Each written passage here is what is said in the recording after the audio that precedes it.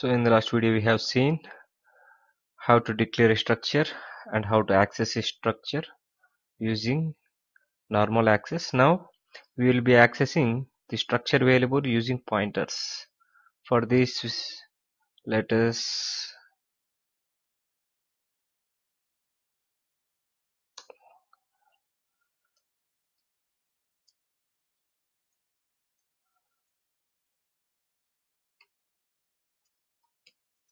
initialize in different way like 1 comma.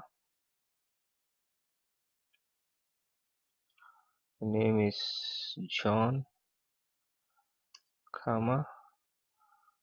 Percentage is 90.5 declare a pointer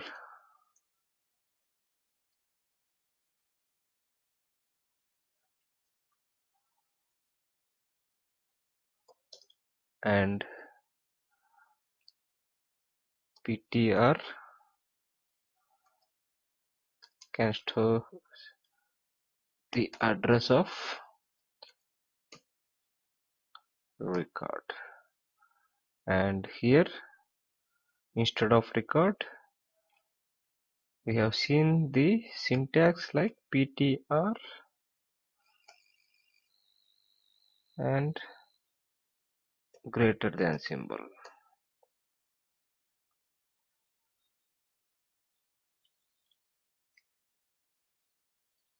Replace it. Replace it. So according to the syntax this is how the program look like. Let us build it. See whether there are any errors zero errors. Now just run it. Percentage is 90.5 john and id is 1 so this is how we can access the variable inside the structures using pointers